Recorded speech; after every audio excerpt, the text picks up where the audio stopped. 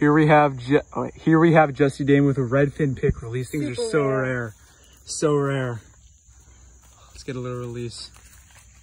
Super rare species of fish.